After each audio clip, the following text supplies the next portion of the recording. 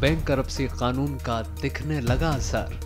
Bhushan steel के बहत्तर फ़ीसदी हिस्सेदारी को बेचकर बैंकों के खाते में आया छत्तीस हज़ार करोड़ का फंड। दिवालिया प्रक्रिया की कतार में 11 एनपीए और हैं शामिल।